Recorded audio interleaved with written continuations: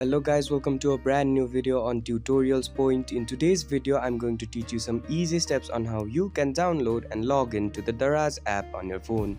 Before we start the video, don't forget to like, share and subscribe to the channel for more such useful tutorials. Without further ado, let's move on to the video. First of all, make sure that you're connected to the internet. Once you made sure that you're connected to the internet, open up the Play Store app. After the home page of the Play Store app opens up on your screen, on the top of your screen you'll see the search bar. Go ahead and click on it. Once you click on the search bar, type in D-A-R-A-Z and hit enter. After the Daraz app opens up on your screen, on the right hand side of your screen you'll see the install button. Go ahead and click on it. Once the Daraz app is completely downloaded and installed on your device, go ahead and open it up. After the home page of the Daraz app opens up on your screen, on the bottom right hand side of your screen you'll see the account option. Go ahead and click on it. Once you click once, once you click on the account option you'll be guided to another page.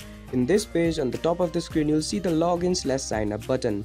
Go ahead and click on it. After you click on the login slash sign up button you'll be further guided to another page. In this page you'll find various options to log in or sign up to the Daraz app. For instance, you can enter your mobile number here you can log in with your password here or you can simply just continue with Facebook or Google by just tapping on the icons. If you want to log in with your password, you'll have to click on the login with password button which will guide you to another page. In this page, you'll have to fill in your mobile phone number or email there, a password here and then click on the login button.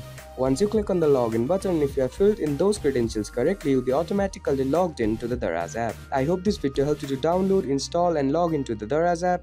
Don't forget to like, share and subscribe to the channel for more such useful tutorials. Thank you for watching.